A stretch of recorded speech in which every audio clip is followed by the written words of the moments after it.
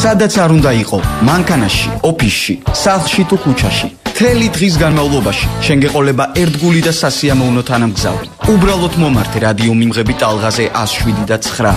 გადაცემა მთელი დღე, გადამდები განწყობა, საჭირო ინფორმაცია და მუსიკა, რომელიც გიყვარს. მთელი დღე ყველაზე საინტერესო და საჭირო რუბრიკები, გათამაშებები და საუკეთესო მუსიკა დილიდან საღამომდე. მთელი დღე უსმინე ყოველ დღე ძველი ქალაქის ეთერში. მთელი დღე შენი საუკეთესო თანამგზავრი. მოგესალმებით ძვირფასო რადიო მსმენელებო. FM-ში სადაც ხაზე თქვენ უსმენთ გადაცემას მთელი დღე და რუბრიკას სტუმარის დრო დადგა რომელსაც მე ქეთევან ბერძენიშვილი ვუძღვები და დღეს ჩვენი გადაცემის სტუმარი გახლავთ ჰაინრიხ ბიულის ფონდის სამხრეთ კავკასიის რეგიონული ბიუროს დირექტორი ქალბატონი ნინო ლეჟავა და მიზეზი იმისა თუ რატომ ჩამობძანდა ქალბატონი ნინო ლეჟავა ამის შესახებ მოგახსენებ დღეს ქუთაისში აკაკი წერეთლის სახელმწიფო უნივერსიტეტში იხსნება ჰაინრიხ ბიულის 100 წლის თავისადმი მიწყვნილი გამოფენა და გამართება საჯარო ლექცია. უფრო კონკრეტულად ამ თემასა და ზოგადად ჰაინრიხ ბიულის ფონდის საქმიანობის შესახებ თავად კალბატონი ნინო მოგვიყვება მოგესალმებით და ძალიან დიდი მადლობა რომ დღეს ჩამოგძანდით და ჩვენი სტუმარი ხართ. მოგესალმებით. აა კალბატონი ნინო ჩვენმა რადიო მსმენელებმა და იმ აუდიტორიამ რომელიც ძალიან ხშირად ესწრება ყოველ თვეში და ხანდახან თვეში ორჯერაც ჩვენ საჯარო დისკუსიებს იციან რომ ბიულის ფონდი რამდენიმე მიმართულებით საქმიანობს სამხრეთ კავკასიაში მათ შორის საქართველოში და აქტუალურ თემებზე მიდის მსჯელობა, მაგრამ ეს არ არის მხოლოდ დებატები, არამედ უფრო ფართო საქმიანობა აქვს ბიულის ფონდს. მოდით მოგვიყევით ბიულის ფონდის შესახებ და იმ მიმართულებებისა, რომელზეც ფონდი მუშაობს. დიდი მადლობა ინტერესისათვის. ჰანიშბელის ფონდი გახლავთ გერმანული მწვანე პოლიტიკური ფონდი, რომელიც სამხრეთ კავკასიაში და კერძოდ საქართველოში 2003 წლიდან მუშაობს. ჩვენი ძირითადი მიზანი და მისია საქართველოსში, სომხეთსა და აზერბაიჯანში დემოკრატიული პოლიტიკური კულტურის ხელშეწყობა და განვითარება და ამ მიზნით ჩვენ მუშაობთ როგორც წარსულის გააზრებაზე მაგალითად, ასევე აწყოს განვითარებაზე და ასე ვთქვათ სამომავლო პერსპექტივებზე კონკრეტული სამხრეთ კავკასიური ქვეყნებისათვის. ეს გულისხმობს მაგალითად თუ წარსულის თემაზე ვისაუბრებთ, ეს არის მაგალითად საბჭოთა წარსულის გააზრების თემა, როცა ჩვენ სხვადასხვა კვლევით ორგანიზაციებს, ან სტუდენტურ ორგანიზაციებს მაგალითად გორში ხელს ვუწყობთ იმაში, რომ მათ ერთის მხრივ საარქივო მასალების დამუშავებით გაარკვიონ თუ რა ხდებოდა მე-20 საუკუნის განმავლობაში. ან პირიქით მას შემდეგ რაც ასე ვთქვათ, საარქივო მასალების გაანალიზების საშუალებით ისინი შეიქმნიან წარმოდგენას, ვცდილობთ ხელი შეუწყოთ მათ თავისი თანატოლების განათლებაში, როგორც ეს უკვე სამი წლის განმავლობაში მიმდინარეობს ქალაქ გორში. მოგეხსენებათ იქ ასე ვთქვათ საბჭოთა წარსულის თემა განსაკუთრებით სტალინის ფიგურასთან არის დაკავშირებული და ჩვენთვის მნიშვნელოვანია რომ ასე ვთქვათ მომავალი თაობა კაფიოთ ჩამოყალიბდეს თუ რა როლი ენიჭება ამ პიროვნებას საბჭოთა კავშირის აა წარსულის შეფასების თვალსაზრისით.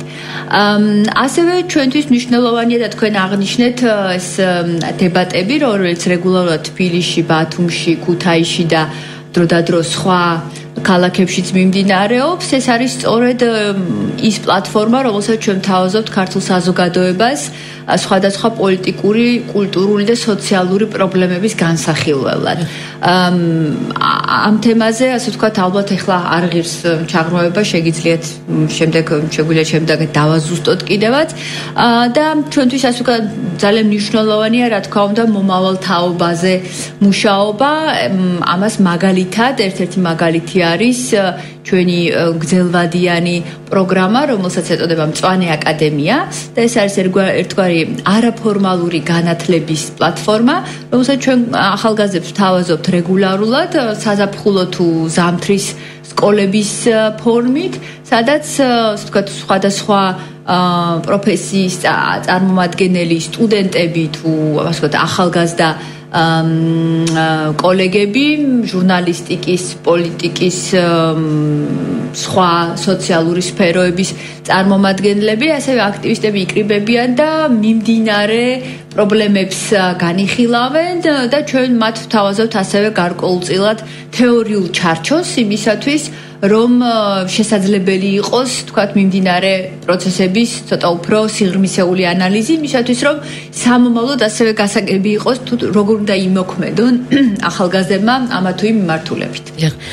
და ასევე რაც შეეხება თქვენ ძალიან ფართო ასპარეზს აძლევთ ახალგაზრდა მკვლევარებს იმისთვის, რომ გარდა თქვათ თქვენი საუბრეთ საბჭოთა წარსულის გააზრებისა, ასევე სხვადასხვა მიმართულებით მათ ჩაატარონ კვლევები და შემდეგ შესაბამისი დოკუმენტი უკვე დაიდოს. აი როგორ ხდება ამ კვლევა მკვლევარებთან დაკავშირებით შერჩევა ან თუ კონკურსის წესი გაქვთ ან ისინი მოგმართავენ?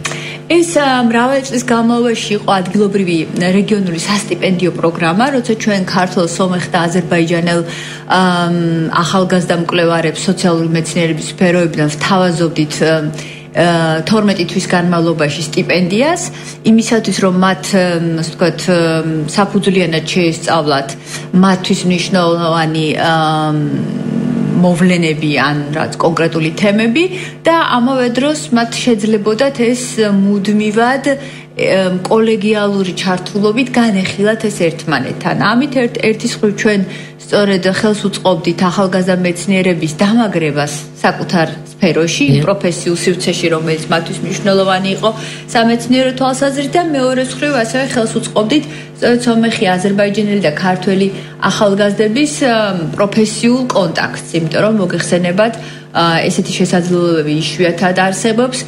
ძალიან ხშირად ასე ვთქვათ ჩვენი სტიპენდიანტები პირველად ხდებოდნენ თქვა საქართველოში ან ასე ვთქვათ პირველად მიდიოდნენ ქართველი სტიპენდიანტები სომხეთში ვიზიტად და ეს შესაბამისად ჩვენ გვაძლევს და იმის შესაძლებლობას რომ ისინი თქვა არ უხალოდ თქვა ვიწრო პროფესიული თვალსაზრისით ყოფილიყვნენ კავშირში არამედ რაც ადამიანური ურთიერთობებით ასე ვთქვა განევითარებინათ იმისათვის რომ სამომავლო თქვათ თუნდაც კლავის პროფესიული მიზნებით ის ეს კონტაქტები გამოეყენებინათ. ეს პროგრამა ნელ-ნელა ასე ვთქვათ დაიხურა იმიტომ რომ საკმაოდ დიდი ხნის განმავლობაში მიმდინარეობდა. ჩვენ ამ ამ კვლევებს რეგულარულად გამოვცემდით და დასავლეთის ბიბლიოთეკებში მიზნობრივად ვარიგებდით და ვაგზავნით კიდევაც სწორედ იმისთვის რომ რეგიონის მეცნიერებისთვის შეგვე მიგვეცა შესაძლებლობა მათი ნაშრომების ასე ვთქვათ დასავალ კოლეგებთან წარდგენისათვის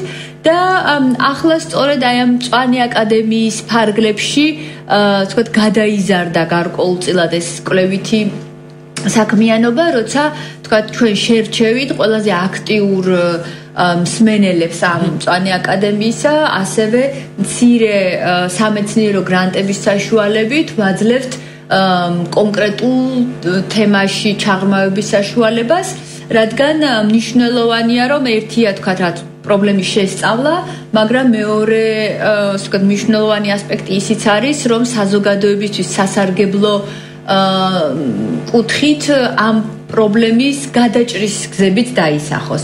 და რადგან სწორედ ეს წვანი აკადემია უფრო პოლიტიკური აქცენტითაც არის, ასე ვთქვათ, განსაზღვრული შესაბამისად, ჩვენ ამ ადამიანებს იმის საშუალებას ვაძლევთ, რომ ასე ვთქვათ, ჩამოყალიბდნენ თუ როგორ უნდა ვითარდებოდეს ესა თუ ის პოლიტიკა კონკრეტული, ასე ვთქვათ, ქვეყნის კონკრეტული განვითარების თვალსაზრისით. და სწორედ მაგასთან არის დაკავშირებული ჩემი მომდევნო კითხვაც. თქვენ არაერთი თქვა საზოგადოებასთან შეხვედრების დროს, იგივე დებატების სერიებში ძალიან ხშირად ქონიათ ქალაქის განვითარების კონცეფციასთან დაკავშირებული საჯარო დისკუსიები, რაც ფიქრობ რომ ნებისმიერი ქალაქისთვის არა მარტო საქართველოსში, არამედ მის ფარგლებს გარეთ არის ძალიან ინდივიდუალური და ძალიან ისეთი მნიშვნელოვანი საკითხი, ხო? აი ამ შემთხვევაში ვთქვა თუ გააგზელებთ ისევ აი ამ მიმართულებით მუშაობას და ასევე მაინტერესებს აი იგივე მწვანე განზომილებასთან და მწვანე მიმართებით თუ უფრო მეტად იქნება ბიოლის ფონდიდან ეს მიმართულება ხო ეს ასე ვთქვათ ორი საკითხია რომელიც პრინციპში ერთმანეთს ზე გადაიკვეთება კიდევაც იმიტომ რომ ჩვენთვის ეს урბანული განვითარება არის ზოგადად ასევე დემოკრატიული პოლიტიკური კულტურის საფუძველი, ხო? იმიტომ რომ საჯარო სივრცეები არის მნიშვნელოვანი სწორედ იმისთვის, რომ ადამიანებს შეეძლოთ არა მხოლოდ პარლამენტში, არამედ სხვაგანაც შეკრება, ერთმანეთთან ურთიერთობის დამყარება და ამა თუ იმ საკითხების განხილვა. და ის რაც თქვა ჯერჯერობით მაგალითად ქუთაისში ნაკლებად შეიმჩნევა ხა ჩვენ თბილისიდან ჩამოვედით და აი უცებ ვიგძენით რაღაც ეს ქალაქის სითბო და შედარებით ადამიანური განზომილება ამ ქალაქის. ის რაც ის რაც თბილისში ეს ქალაქის სტრუქტურა უკვე სრულად მორღვეულია და რეალურად ასე ვთქვათ ფეხით მოსიარულეს მაგალითად ძალიან გიჭირს ქალაქში ორიენტირება, იმიტომ რომ რეალურად არა მხოლოდ საჯარო სივრცე რაღაც უფრო დიდი თავშეყრის ადგილები, არამედ ფეხით სავალი გზებიც აღარ არსებობს ადამიანებისთვის. შესაბამისად ეს ყველაფერი მოქმედებს იმაზე თუ ვთქვათ როგორ ვითარდება საზოგადოება და ჩვენთვის ეს საკითხი არის სწორედ ანუ საჯარო სივრცეების არსებობა ასე ვთქვათ უშუალოდ უკავშირდება დემოკრატიის განვითარებასაც ხო? ასე ვთქვათ შეიძლება ვთქვათ პარალელი გავალოთ ძველ ბერძნულ აგორასთან თუმცა მაშინ იქ მხოლოდ ვიცით რომ მოქალაქეებად მხოლოდ მამაკაცები ითვლებოდნენ ხო? ჩვენ რა თქმა უნდა ასეთ ასე ცალმხრივ განზომილებას არ გულისხმობთ მაგრამ ეს საკითხი ძალიან მნიშვნელოვანია და სწორედ წვანე განზომილებაც ამავე კომპონენტით შეიძლება გავიაზროთ, იმიტომ რომ რა თქმა უნდა ადამიანისთვის სასარგებლო და კომფორტული საცხოვრებელი და სამუშაო სივრცე დღევანდელ დღეს 21 საუკუნეში რა თქმა უნდა წვანე სივრცეებსაც გულისხმობს. ამ მიმართულებით ჩვენ უკვე გასულ წელს მაგალითად კავკასიურ სახლთან თანამშრომლობით გამოვეცით მწვანე ანთოლოგია, ანუ ერთგვარად ვცდილობთ რომ არა მხოლოდ დისკუსიები ვაწარმოოთ, არამედ საგანმანათლებლო ინსტრუმენტები შევთავაზოთ საზოგადოებაში. შესაბამისად, ესეთი თარგმანები მნიშვნელოვანია ერთის მხრივ თანამედროვე სამეცნიერო ენის განვითარებისთვისაც და მეორე მხრივ, რა თქმა უნდა, პროფესიული ცოდნის ჩამოსაყალიბებლად. აა შესაბამისად, ასეთი ტიპის თარგმანებს მომავალ წლისთვისაც გეგმავთ და მგონია, რომ როგორც ის წვანე ანთოლოგია დაიტაცეს და ასე ვთქვათ, ძალიან ფართოდ გავრცელდა ასევე კრებული ქალაქი ჩვენია, მგონია რომ ასე ვთქვათ მომავალი თარგმანებიც ასევე ამდენად საინტერესოა. და ერთ-ერთი კიდევ მნიშვნელოვანი მიმართულება, რომელიც გენდერის თემას ეხება, ესეც ძალიან საინტერესოა და მით უფრო, როდესაც ჩვენ საზოგადოებაში მაინც ასე ვთქვათ ახალი დაწყებული არის ამ კუთხით მსჯელობა და სულ ეხლა ხანს ვთქვათ კანონი სხვა სხვა მუხლებში შევიდა კანონები გენდერული თანასწორობის და ძალადობის შესახებ. აი ამ კუთხით თქვენ კიდევ კონკურსებსაც აცხადებთ. აა კი, გენდერული დემოკრატია ასევე ჩვენთვის კლავ თანამედროვე დემოკრატიის შემადგენელი კომპონენტია, რადგან ეს გულისხმობს სწორედ ადამიანების სრულფასოვან მონაწილეობას აა საჯარო თუ კერძო სფეროში, ხო? შესაბამისად ამ თვალსაზრისით კლავ ასე ვთქვა, თარგმანები და ასევე ორიგინალური ქართულად შექმნილი საგანმანათლებლო მასალები აა იქნება ჩვენი ინიციატივით. ახლა უკვე გამოდის მაგალითად მეორე ა ტომი ასე ვთქვათ ისეთი სერიისა რომელსაც ჩვენ ცოტა პროვოკაციულადაც კი ვუწოდეთ ვისებშინია ფემინიზმი საქართველოში. და ამ კრებულში სწორედ ქართველი ავტორების მსჯელობები და ნაშრომები შედის იმის თაობაზე თუ რა სიტუაციაა გენდერული და თანასწორობის და დემოკრატიის თვალსაზრისით. ასევე ამ თვალსაზრისით ვატარებთ მცირე კონკურსებს, როგორც ფოტოგრაფებისთვის, ისე ისტორიკოსებისთვის, ან ქალი აქტივისტებისთვის, რომლებსაც შეუძლიათ სწორედ თავიანთი ქალური ხედვით საზოგადოება შესთავაზონ ის საკითხები, რომელიც მათთვის არის მნიშვნელოვანი და დააფიქსირონ ეს თქვა წერილობით. თქვათ ესეს სახით ან თუნდაც ფოტო გამოფენის სახით. და რადგან გამოფენაზე მიდგა საქმე, დღეს მნიშვნელოვანი დღე არის, იხსნება გამოფენა, რამდენიმე დღეს გასტანს ეს გამოფენა წერეთლის უნივერსიტეტში. რატომ გადაწყვეტეთ, რომ თბილისში და ერევანში იმართება და ქუთაისში ყოფილიყო? აა იმიტომ რომ ქუთაისი ასევე მნიშვნელოვანი ქალაქია სამხრეთ კავკასისაც და რა თქმა უნდა საქართველოსიც.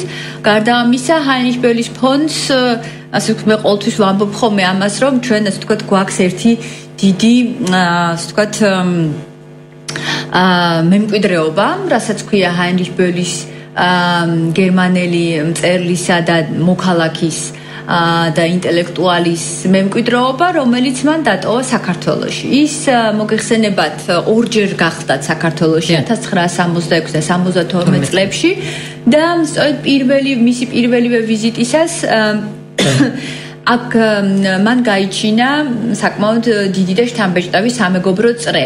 ეს იყვნენ ძირითადად ქართველი გერმანისტები, ისეთი როგორც იყო ეს ნელი ამაშუკელი, მაგალითად ბუბა ყარალაშვილი, ნოდარ კაკაბაძე, ასევე ფილოსოფოსები გივი მარგველაშვილი და ასევე ზურაბ კაკაბაძე და სხვა მრავალნი და შესაბამისად ეს ადამიანები მიუხედავად იმისა, რომ ასე ვთქვათ გაგანიარ ეგრეთ წოდებული რკინის ფარდა და ცივი ომი მიმდინარეობდა, ახერხებდნენ ამ რკინის ფარდის მიღმა ერთმანეთთან ურთიერთობას. აა შესაბამისად ჩვენთვის ძალიან მნიშვნელოვანი იყო, რომ ეს მემკვიდრეობა, რომელიც ქართული გერმანისტების არქივებშიც არის დარჩენილი, მაგალითად ნოდარ კაკაბაძის ანდელია მაშუკელის და ახლა უკვე აისახება ქართულ-გერმანულ დიგიტალურ არქივშიც საიტზე არქივი.g ამ ასევე სწორედ ქუთაისში და თბილისში და ერევანში წარგვედგინა საზოგადოებისთვის. თუმცა ეს გამოფენა კიდევ იმიტომ არის საინტერესო, რომ ის ხას უსვამს ანიშბელის არამხოლოდ სამწერლო მოღვაწეობას, რომელიც უაღრესად მნიშვნელოვანია და მე მგონია, რომ ასევე სწორედ ქუთაისის უნივერსიტეტისთვის განსაკუთრებით გერმანისტიკის მიმართულებისთვის, როგორც პროფესორისთვის, ისე სტუდენტებისთვის ეს ახალ იმპულსს მისცემს მათ. ასევე სწორედ აქ ასე ვთქვათ გამოკვეთილია ის პასუხისგებლობა რომელიც მწერალს როგორც მოქალაქეა როგორც მოქალაქეს. და თანამედროვეს. და შესაბამისად ფანიშ ბოლი ასევე არის ჩვენი ფონდის სახელდების ავტორი და სწორედ მწვანე პოლიტიკურმა ფონდმა ასე ვთქვათ იმიტომ აიღო ამ ადამიანის სახელი რომ ის იყო სწორედ ის ადამიანი რომელიც ასე ვთქვათ ემხრობოდა იმ ღირებულებების გავრცელებას როგორც არის არ მხოლოდ ვთქვათ გარემოს დაცვა და ეკოლოგია ვიწრო კუთხით არამედ მაგალითად სამშვიდობო მოძრაობას რომელიც მეორე მსოფლიო ომის შემდგომ გერმანიაში ძალიან მნიშვნელოვანი იყო. შესაბამისად მე მგონია რომ ასეთი გამოფენა როგორც კიდევ ერთხელ ვამბობ პროფესორთა სტუდენტებისთვის იქნება საინტერესო, რომლებიც ასე უშუალოდ ვთქვათ გერმანული ლიტერატურით არიან დაინტერესებული, ასევე სწორედ ქუთაისის მოქალაქეებისათვის, რომლებისთვისაც საინტერესოა თუ რა პროცესები გაიარა დასავლეთ გერმანიამ და ზოგადად გერმანიამ და ევროპამ მეორე მსოფლიო ომის შემდეგ და როგორ მოვიდა ის სწორედ იმ ღირებულებებამდე, რომელიც თქვა ახლა უკვე საყოველთაოდ აღიარებულია ევროკავშირის ფარგლებში და რომელსაც რეალურად ქართული სახელმწიფოს მიელტვის, ხო? ეს არის სწორედ მშვიდობის საკითხი, რომელიც ძალიან მნიშვნელოვანია და ევროპა სწორედ ძირითადად იმითი გამოირჩევა, რომ სწორედ მეორე მსოფლიო ომის შემდეგ თუ არ ჩავთვლით ბალკანეთის ომებს და ამჟამად უკრაინის აღმოსავლეთში მიმდინარე ომს ეს სივრცე ყოველ შემთხვევაში ევროპის ტერიტორიაზე დაცული იყო ომებისაგან და ეს თემა თქვათ ბელისთვის ძალიან მნიშვნელოვანი იყო. ასე ძალიან მნიშვნელოვანი იყო სახელმწიფოსა და ეკლესიის ურთიერთმიმართება ბელისათვის, რომელიც თავად თქვათ კათოლიკურ ოჯახში გაიზარდა, კათოლიკური რწმენის გერმანულ ცენტრში კოლნში, იქვე სიახლოვეს ცხოვრობდა კიდევაც და შესაბამისად მისი ასე თქვათ დამოკიდებულება და ხშირად ძალიან კრიტიკული დამოკიდებულება ვალდებულებას თქვათ ეკლესიის და კლერიკალიზმის მიმართ დღემდე ძალიან აქტუალურია საქართველოსიც მათ შორის. ასევე ძალიან მნიშვნელოვანია სწორედ გერმანიის ნაციონალ-სოციალისტური წარსულის გააზრება და ის საკითხები თუ რა მოიტანა მაგალითად 70-იან წლებში დასავლეთ გერმანიაში პოლიტიკური კულტურის რადიკალიზება, როცა თქვათ ტერორიზმიც კი გავრცელდა გარკვეული პოლიტიკური თქვათ მიზნების მისაღწევად. შესაბამისად, სწორედ აი ჰუმანურობის საკითხი და ჰუმანიზმის საკითხი ძალიან მნიშვნელოვანია და ასე ვთქვათ უნივერსალური ღირებულება და თუ როგორ შეიძლება თქვა წერალმა იბრძოლოს თქვა ამ ღირებულების დასამკვიდრებლად სწორედ ამ გამოფენის დამთვალიერებლები ნახავენ იმიტომ რომ ეს არ არის მხოლოდ ფოტოები. მინდა გითხრათ ეს არის ძალიან საინტერესოდ კომბინირებული ტექსტები დოკუმენტური მასალა რა თქმა უნდა ფოტოები. ასე ძალიან საინტერესო კონცეფციით გამოფენილი. და ასე ვთქვათ მე უკვე ვნახე ფოტოები თუ როგორ არის თქვა ეს გამოფენა განთავსებული სახელმწიფო უნივერსიტეტში ძალიან კარგად ერწყმის სწორედ შენობის ფოიესაც ასე რომ მართლა ძალიან დიდი სიამოვნებით გირჩევთ ყველას ამის ნახვას და გამოფენის შემდგომ გამართება უკვე საჯარო ლექცია, რომელსაც მანანა პაიჭაძე წარუძღვება, ჰაინრიხ ბიოლი მწერალი და მოქალაქე. ასე რომ ძალიან დიდი სიამოვნება ელით არა მხოლოდ სტუდენტებს, რომლებიც წერეთლის უნივერსიტეტში სწავლობენ და სხვა უნივერსიტეტების, კერძო უნივერსიტეტების სტუდენტებს, არამედ ნებისმიერ იქ მოსულს და მე მინდა რომ აი ამ გამოფენამ ძალიან კარგად ჩაიაროს ქუთაისში, მიიღონ მეტი ინფორმაცია ინფორმაცია და უფრო მეტად გაეცნონ არამხოლოდ ჰაინრიხ ბიულის შესახებ როგორც წერლისა და მოქალაქის და მოღვაწის, ასევე ზოგადად ფონდის შესახებ თუ რატომ არის, რატომ გადაწყდა, რატომ არის ეს მნიშვნელოვანი ქართველი ახალგაზრდობისთვის. კიდევ ერთ რამეს დავამატებდი სწორედ ქალბატონი მანა პაიჭაძეს უკვე ცნობილი გერმანისტია და მას ასევე თავისი პროფესიული კავშირები აქვს ქუთაისის სახელმწიფო უნივერსიტეტთან და ასევე ის გახლავთ სწორედ იმ ქართველი გერმანისტების მოსწავლე რომლებიც მეგობრობდნენ ჰაინრიხ ბელთან და ასე მას თავად აქვს ეს საარქივო მასალა დამუშავებული რომელიც მალე გამოქვეყნდება ასევე საიუბილეო კრებულში ჟურნალში, რომელსაც ჩვენ გამოვცემთ, აა სადაც შევა სწორედ ქალბატონი მანანას, ლევან ბერძენიშვილის, ლევან ცაგარელის და უკვე გარდაცვლილი ნელი ამაშუკელის ესეები ჰაინრიხ ბელის ცხოვრების და მოღვაწეობის შესახებ. და ასევე ძალიან საინტერესო თარგმანები, რომელიც რეალურად პირველად ქვეყნდება, პირველად ითარგმნა გერმანულიდან ქართულ ენაზე. ძალიან დიდი მადლობა ქალბატონო ნინო. უკვე 4 საათზე იხსნება დღეს ეს გამოფენა. მე კიდევ ერთხელ ჩვენს რადიო მსმენელებს და ყველა დაინტერესებულს მოუწოდებ რომ მოგზადდნენ აკაკი წერეთლის სახელმწიფო უნივერსიტეტის ფოიეში. და ნახონ ის გამოფენა რომელიც 3 დღის განმავლობაში გაგრძელდება 8 დეკემბრის ჩათვლით. და მიიღონ მეტი ინფორმაცია მე კი რადიო მსმენელებს შევახსენებ რომ ჩვენი გადაცემის სტუმარი გახლდათ ჰაინრიხ ბიოლის ფონდის სამხრეთ კავკასიის რეგიონული ბიუროს დირექტორი ქალბატონი ნინო ლეჟავა, ეს რადიო ძველი ქალაქია ტალღაზე FM 107 და 9.